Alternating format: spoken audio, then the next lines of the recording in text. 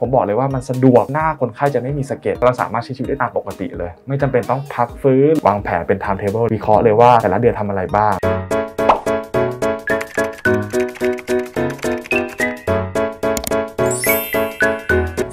สวัสดีค่ะสวัสดีคุณชาวกรูเช็คที่น่ารักทุกคนนะคะ วันนี้กลับมาที่เดิมอีกแล้วนะ ก็คืออยู่ที่ DSK Clinic นะคะ คุณคุณจำได้ไหมครั้งก่อนนะ เดี๋ยวขอเท้าความนิดนึงเนาะเพราะว่าหมองอะมาทำ Pico Second Laser แล้วปรากฏว่า เออมันได้ผลดีมากเลย วันนี้นะ เราก็เลยทำตัวเป็นพี่สาวที่แสนดีนะคะ เป็นพี่สาวพาน้องสวยเดี๋ยวแนะนำน้องหมองก่อนนะน้องเบลค่ะ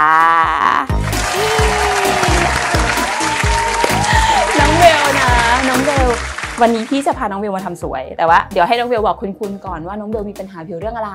กังวลเรื่องหลุมสิวอะค่ะอ่าแต่งหน้าแล้วก็แบบว่ารู้สึกว่าต้องใช้รองพื้นเยอะ แล้วก็อืมไม่เรียบเนียนไม่มีความมั่นใจเออแต่ว่าเท่าที่พี่ดูจริงๆเบลก็ไม่ได้แบบหลุมสิวเยอะเนาะพอดีน้องเบลอะต้องพูดอย่างนี้ก่อนว่าน้องเบลอะ มาปรึกษาหมองว่าพี่หมองเบลมีปัญหาเรื่องหลุมสิว แล้วเห็นพี่มาทำที่ DSK ใช่ไหมก็เลยอยากจะมาลองทำดูนะคะ พี่ก็เลยแบบเออคิดว่าที่นี่เนี่ยเหมาะเพราะว่าคุณหมอค่อนข้างให้ข้อมูลดีนะคะ ไม่ว่าจะเป็นเครื่องมืออะไรต่างๆเนี่ยก็คือเลิศทุกอย่างนะก็เลยเออวันนี้ตัดสินใจว่าพาน้องเบลมาดีกว่านะเพราะผู้หญิงเราเนอะถึงจะมีปัญหาแบบเล็กๆน้อยๆเนี่ยเราก็อยากจะรีบมาดูแล ปกติก็คือใช้ skincare รักษาหลุมสิวอยู่ไหมเคยรักษาค่ะ แต่ว่าตอนนี้ก็ไม่ได้ดูแลเลย เพราะว่าอย่างที่เราคุยกันว่าในระดับ skincare ค่ะ ถ้าเป็นเรื่องหลุมสิวมันยากมากนะสุดยังไงซะมันก็ต้องจบด้วยเลเซอร์นะคะเพราะฉะนั้นใครที่มีปัญหาหลุมสิววันนี้อย่าพลาดนะคะ ต้องติดตามโอเคครับสวัสดีครับ วันนี้ก็เดี๋ยวมาเรารักษาเรื่องหลุมสิวเนาะ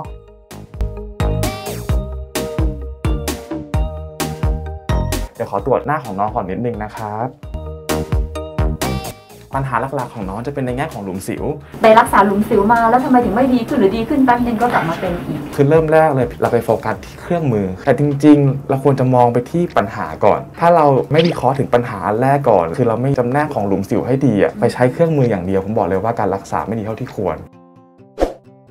ทราบมาว่าที่นี่ใช้เทคนิคการรักษาหลุมสิวที่ค่อนข้างจะแตกต่างจากที่อื่นเนี่ยค่ะคุณหมอ ที่ DSK คลินิกนะครับรักษาหลุมสิวแบบ personalized scar planning จะเป็น 3 ข้อหลักๆ ในการรักษาหลุมสิว เริ่มแรก เราจะวิเคราะห์ประเภทของหลุมสิวก่อน แล้วก็วางแผนการรักษาให้คนไข้แต่ละหลุมสิวแต่ละประเภท อันที่ 2 จะเป็นการใช้เครื่องมือเทคโนโลยีที่ใช้กระตุ้นการสร้างคอลลาเจนใหม่ผิวหนังขึ้นมาใหม่ หลักการหลักๆ คือเราจะเอาเป็นเครื่องมือที่ใหม่ล่าสุด และได้มาตรฐานที่สุด พื่อให้ผลลัพธ์ในการรักษาหลุมสิวครับผมดีที่สุดในคนไข้แต่ละคน เพื่อให้ผลลัพธ์ในการรักษาเป็นผลลัพธ์ระยะยาวครับและอย่างสุดท้ายเป็นสำคัญที่สุดคือเป็น specific treatment หรือว่าการรักษาที่มีความจำเพาะในแต่ละหลุมสิว เป็นสิ่งสำคัญเพราะว่าหลุมสิวแต่ละหลุมมีการรักษาแตกต่างกัน เพราะฉะนั้นทั้ง 3 ข้อนี้เป็นคีย์ในการรักษาของที่นี่ แปลว่าหลาย ๆ ที่ที่เวลาไปรักษาหลุมสิวแล้วไม่ได้ผล เพราะว่าอย่างยังอย่างหมองเองเนี่ยสมมติว่าถ้าหมองต้องถามเรื่องรักษาหลุมสิวอะไรสักอย่าง มองจะชอบเห็นมีโฆษณาเครื่องมือ ใช่ครับมาผมนับมาก่อนเป็นอันดับแรกเลยว่าเราใช้เครื่องมืออันนี้นะเราใช้แบบเลเซอร์ประเภทนี้นะซึ่งจริงๆเครื่องมือมันเป็นแค่ทูใช่ไหมใช่ครับผมปัจจุบันที่เราพลาดในการรักษาหลุมสิว หรือรักษาหลุมสิวหลายๆที่มาแล้วไม่หายมันมีพิษฟอสามอย่างที่เราผิดพลาดกันหนึ่งไม่มีการวิเคราะห์ อันที่สองเครื่องมือไม่ได้มาตรฐาน และอันที่สามขาดการรักษาที่มีความจำเพาะกับหลุมสิวกรณีของน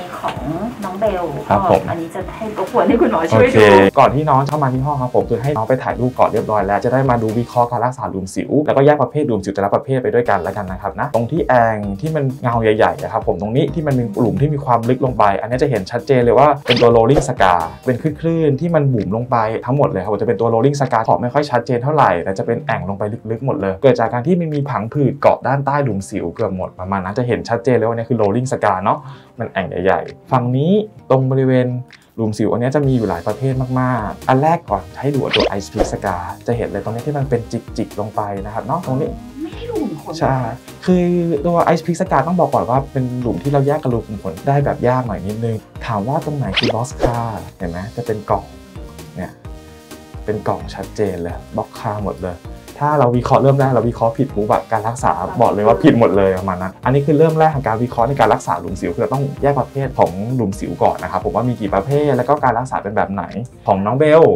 หลุมสิวมีครบทุกประเภทเลยทั้งตัว ice pick boxcar แล้วก็ rolling scar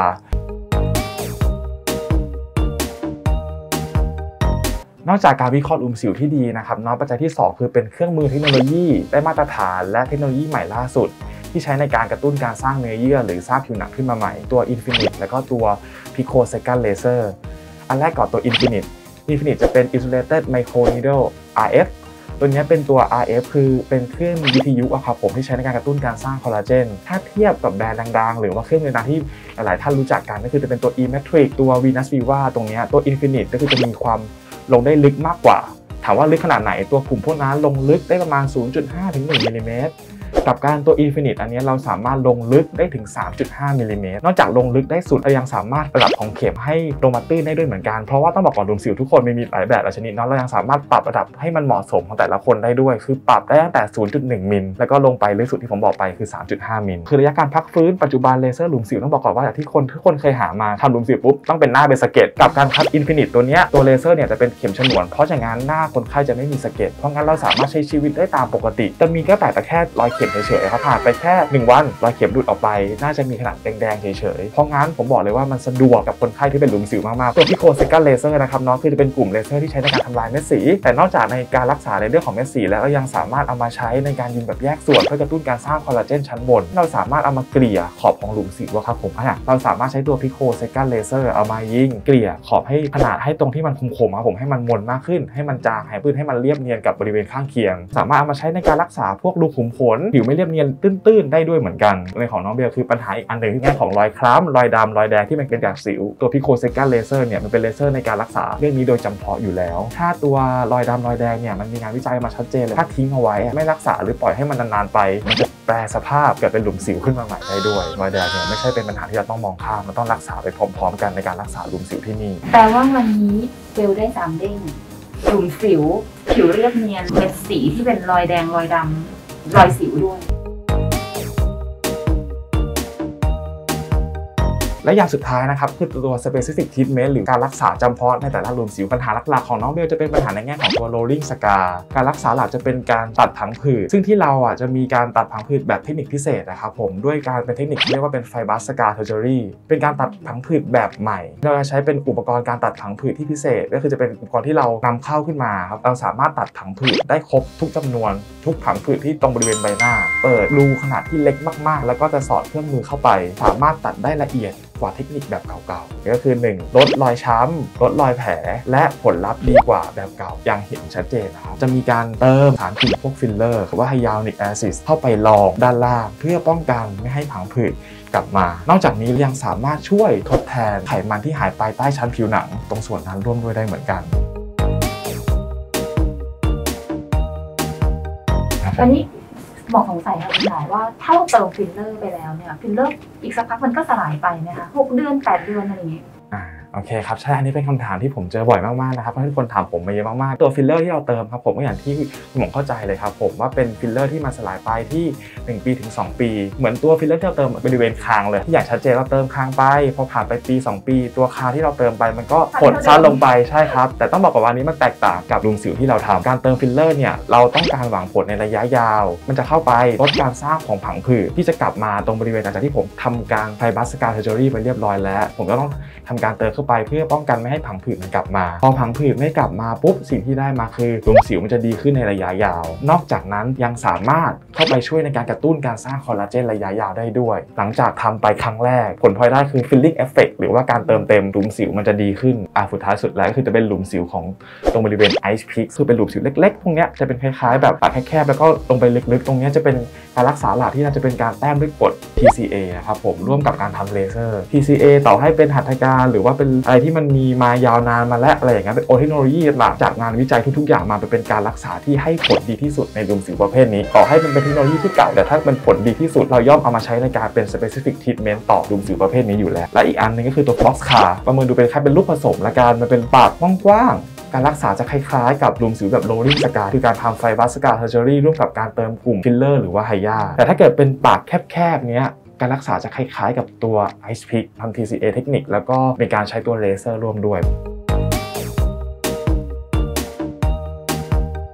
เริ่มแรกวันนี้นะครับ อาจจะมีการ fibrous scar surgery เติมฟิลเลอร์เข้าไปแต้มกด TCA ทำตัว Infinite หรือว่าเป็นตัวเลเซอร์ที่ใช้กระตุ้นการสร้างคอลลาเจนก็คือ ทำสี่อย่างเสร็จปุ๊บ ผมจะให้น้องเว้นอีก 2 อาทิตย์ จะมารักษาในแง่ของตัวใช้ picosecond เลเซอร์เพื่อใช้ในการกระตุ้นการสร้างคอลลาเจนชั้นบน แล้วก็รักษาในแง่รอยดำรอยแดง ที่นี่เราจะมีการ plan การรักษาเป็นตารางเลยครับผมให้ให้ทุกคนเลยก็คือ 5 ครั้งในการรักษาหลุมสิว วางแผนเป็น timetable เลยว่าแบบ วิเคราะห์เลยว่าแต่ละเดือนทำอะไรบ้าง แล้วก็นัดมาทุก 2 อาทิตย์มาใช้เลเซอร์สลับกัน ถ้าสมมุติเราไม่มีแผนเราก็จะรักษาด้วยอย่างเลเซอร์ไปเลเซอร์ไปแล้วจะเห็นได้อย่างไรว่าผลลัพธ์การรักษาเป็นอย่างเท่าที่ควร คนไข้ทุกครั้งที่กลับมา เราจะมีการถ่ายรูปวิเคราะห์ประเมินการรักษาในทุกๆ ครั้งด้วยครับ เจ็บไหมคะระหว่างการทำตัวเลเซอร์เลเซอร์ทั้งตัวหัตถการต่างๆหนึ่งก็คือจะมีการแปะยาชาหรือมาร์กยาชาให้ก่อนแต่นอกจากนี้ตอนก่อนทำผมจะทำการหนึ่งก็คือช่วยยับยั้งความเจ็บ โดยการที่ฉีดเข้าไปตรงบริเวณเส้นประสาทถ้ามีการเจ็บสามารถแจ้งได้เลยถามว่ามีไหมมีอยู่แล้วแต่ว่าน้อยมากๆหลังทำดูแลยังไงคะหมอเป็นการหลังทำนะครับตัว fibrous scar surgery แล้วก็เติมกลุ่มฟิลเลอร์เนี่ยก็คือจะมีใบหน้าที่บวมขึ้นหน่อยนิดนึงจากตัวการเติมเข้าไปประมาณ 1-2 อาทิตย์นะครับนอกจากนั้นก็คือจะมีการยุบบวมแล้วก็จะเข้ารูปได้ดี ส่วนตัวเลเซอร์ทั้ง 2 ตัวทั้ง Infinite แล้วก็ตัว Pico s e c a Laser จะมีเพียงแค่หน้าแดงเฉยๆอยู่ที่ประมาณ 3 วัน 7 วันแล้ว 10 วัน แล้วแต่ปัญหาของคนไข้ครับข้อดีที่สุดนะครับเนาะคือเราจะไม่มีสะเก็ดเพราะงั้นต่อให้เราหน้าแดงแค่ไหนเราจะสามารถแต่งหน้าได้ทากันแดดได้ไปไหนมาไหนได้ตามปกติเลยเพราะงั้นที่นี่เราเลย concern ตรงนี้ร่วมด้วย คือคนไข้สามารถใช้ชีวิตได้ตามปกติเลยครับผม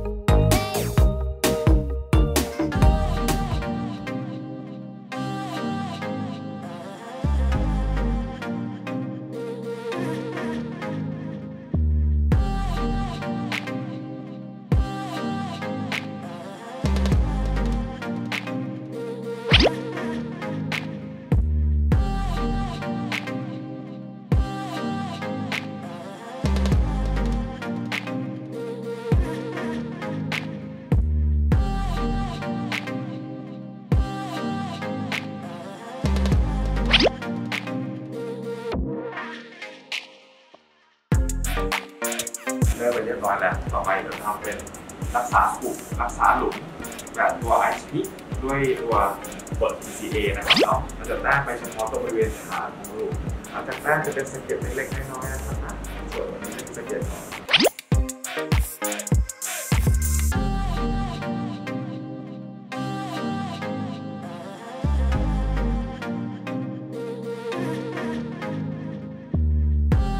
คครับก็ต่อไปนะครับก็คือเป็นการ ครับก็คืออินฟินิตที่หมอพูดไปตอนแรกครับเป็นเครื่องที่ใช้ในการกระตุ้นการสร้างผิวหนังขึ้นมาใหม่ครับผมก็คือตัวนี้เราสามารถปรับระดับความลึกตรงบริเวณหัวได้นะครับตั้งแต่ความลึกน้อยสุดคือ 0.1 นะครับ แล้วก็ลึกสุด 3.5 ตรงนี้นะครับเนาะตอนที่ยิงมันจะออกเป็นประมาณนี้ผมชี้ทำให้ดูเป็นเข็มประมาณนะครับโอเคเราสามารถปล่อยพลังงานเฉพาะด้านปลายของเข็มได้เพราะงั้นคนไข้เลยไม่มีสะเก็ดเลยนะครับ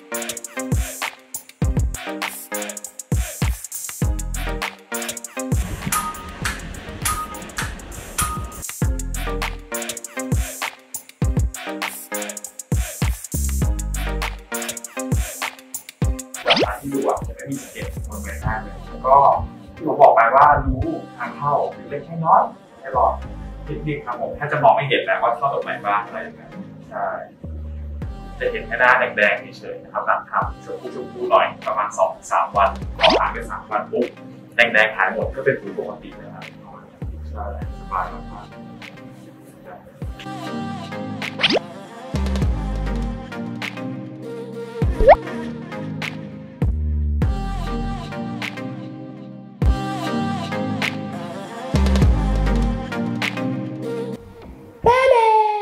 หมองมารีวิวผลลัพธ์ของน้องเบลนะคะ ตอนนี้ก็ผ่านมาประมาณหมองว่า 5-6 เดือนได้ละ ถ้าดูจากรูปของคุณเต็มว่าน้องเบลอะมีหลุมสิวแทบทุกแบบเลย รวมถึงมีรอยดำสิวด้วยเนอะหลังทำก็คือหลุมสิวเนี่ยหายไปเยอะนะคะ ผิวเรียบเนียนขึ้น พวกรอยสิวต่างๆ ก็ไม่มีนะ ที่บอกไปนะคะว่า DSK Clinic เนี่ยเขาใช้หลักการ customization ในการรักษาเพื่อให้ได้ผลลัพธ์ที่ดีที่สุด เครื่องมือที่ใช้ไม่ว่าจะเป็นเครื่องเลเซอร์หรืออะไรต่างๆเนี่ยค่ะก็มีคุณภาพสูงนะคะก็คือได้รับ US FDA นะคะรวมถึงยาก็ใช้ยาแท้ทั้งหมดแพทย์จบเฉพาะทางผิวหนังเรื่องผิวหน้าน้าเนี่ยหมองค่อนข้างมั่นใจ DSK Clinic นะคะคุณครูจะเห็นว่าหมองว่าทำเลเซอร์ที่นี่ประจำนะคือไม่ใช่แค่เลเซอร์ที่หน้านะเลเซอร์หลังหมองก็ที่นี่นะรอยแผลเป็นนะคะ ทั้งที่รักแร้ใช่ไหมเพราะหมองเสริมหน้าอกนะคะ รอยแผลบุ๋มจากการฉีดวัคซีนตอนเด็ก ๆ ที่แขนอันที่จริงอะโปรเจกต์ถัดไปหมองก็อยากทำเลเซอร์ลดรอยแตกลายที่ก้นนะคะสำหรับใครที่มีปัญหาอยู่แล้วกลัวเขินเขามีคุณหมอผู้หญิงด้วยนะ ใครอยากเลเซอร์ฝ้ากระจุดด่างดำนะคะ หลุมสิวนะ รวมถึงพวกเลเซอร์แผลเป็นต่างๆ มาปรึกษาที่นี่หรือไม่ให้คุณหมอประเมินก่อนได้เลยนะคะ เดี๋ยวหมองใส่ลิงก์ช่องทางการติดต่อไว้ให้ในแคปชั่น